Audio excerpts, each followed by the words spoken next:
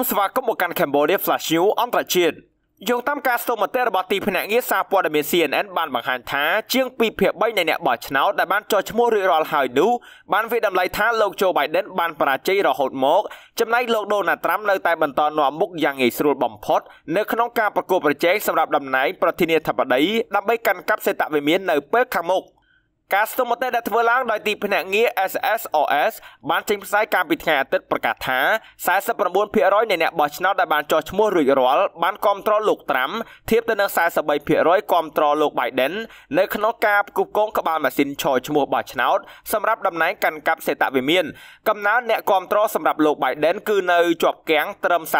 45%នៅក្នុងពេលថ្មីថ្មីនេះបើគិតចាប់តាំងពីខែមករាមកទល់នឹងពេលនេះ ការស្ទង់មតិក៏បានរកឃើញថា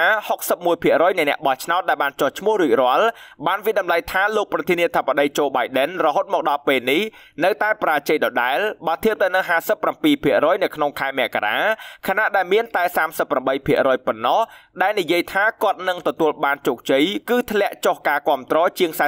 41%បណ្ដាញអ្នកសារព័ត៌មានបានអះអាងថា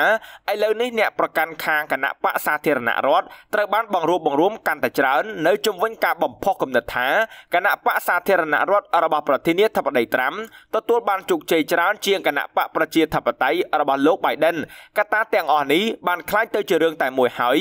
សរុបមក92%នៃគណៈបកសាធារណរដ្ឋហៅសម័យកាលរបស់លោកត្រាំថាទទួលបានជោគជ័យខណៈដែល73%នៃអ្នកប្រជាធិបតេយ្យនិយាយថារដ្ឋបាលលោក Biden ទទួលបានជោគជ័យរហូតមកដល់ពេលនេះ នៅក្នុងចំណោមអ្នកឯករាជ្យ51%បាននិយាយថាចំនួនអតីតប្រធានាធិបតីរបស់ត្រាំអាមេរិកទទួលបានជោគជ័យធៀបទៅនឹង37%មើលឃើញថាលោក Biden ជាអ្នកជោគជ័យអ្នកបោះឆ្នោតបានផ្ដល់បន្ទុកទាបជាពិសេសដល់លោក Biden ទៅលើសេដ្ឋកិច្ចនិងអតិផរណាជាមួយនឹងការវិតម្លៃ34%និង29%តរៀងគ្នាធៀបទៅនឹង62%និយាយថាសេដ្ឋកិច្ចអាមេរិកគឺមានសារៈសំខាន់យ៉ាងខ្លាំងដែលចាំបាច់ត្រូវតែពឹងផ្អែកទៅលើការដឹកនាំរបស់លោកត្រាំធ្វើឲ្យអាមេរិកអស់ចាម្ដងទៀតបញ្ហាផ្សេងទៀត48%នៃអ្នកបោះឆ្នោតដែលបានស្ទង់មតិបាននិយាយថា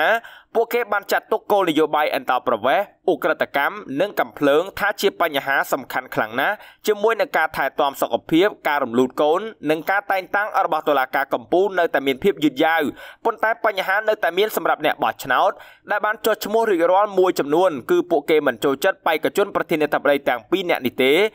58%មានទស្សនៈថាមិនចូលចិត្តលោក Biden ធៀបទៅនឹង55%បាននិយាយថាពួកគេក៏មិនចូលចិត្ត មានន័យថាស្អប់លោកត្រាំដែរតួលេខអំណោយផលជារួមសម្រាប់លោកត្រាំបានកើនឡើងនៅពេលដែលអតីតប្រធានាធិបតីរូបនេះកំពុងត្រូវបានកាត់ទោសនៅមហាឋានពីបទក្លែងបន្លំកំណត់ត្រាអាជីវកម្មរដ្ឋអាជ្ញាបានចោទប្រកាន់ថាគាត់បានបញ្ជាឲ្យបង់ប្រាក់ទៅឲ្យអតីតតារាភាពយន្តអះអាភាស Stormy Daniel ដើម្បីបិទបាំងអំពីការចាប់ប្រកាន់របស់តុលាការនៅក្នុងឆ្នាំ2016នៅមុនពេលដែលលោកត្រាំបានឈ្នះការបោះឆ្នោត ចំណែកការស្ទង់មតិរបស់ Bloomberg News និង Morning Consult ដែលបានចេញផ្សាយកាលពីសប្តាហ៍មុនបានវិតម្លៃថាបើទោះបីជាយ៉ាងណាក៏ដោយលោក Donald Trump ក៏នៅតែកំពុងនាំមុខលោក Biden ដល់ទៅ7%ដែរនៅក្នុងរដ្ឋសំខាន់សំខាន់ចំនួន4គឺ Arizona, Georgia, Nevada និង North Carolina នៅសហរដ្ឋអាមេរិកនោះអរគុណសម្រាប់ការតាមដាន Cambodia Flash News អន្តរជាតិ